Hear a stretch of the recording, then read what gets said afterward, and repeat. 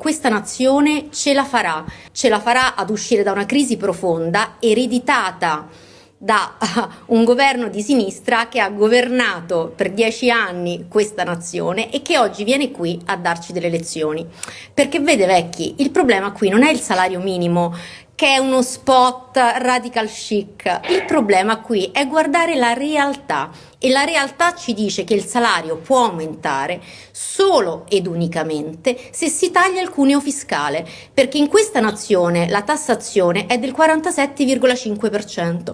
Quindi la signora che ci sta guardando che in questo momento ha la bolletta da una parte che la guarda e dice mi devi pagare, dall'altra parte apre il frigo e dice caspita devo andare a fare la spesa e questo mese grazie al governo Meloni avrà una pensione minima un po' più alta che le permetterà di pagare una pizza ai nipoti o anche a fargli un regalino, deve sapere che le ricette che mette in campo il governo Meloni sono ricette di realtà. Per, Noi dice crediamo, che il salario minimo è uno spot radical uno, chic? È uno spot vecchi, semplicemente perché arrivano qui dopo dieci anni e dicono quello che noi dobbiamo fare. Quindi io chiedo per un amico, ma perché non l'hanno fatto fino ad oggi? Uno.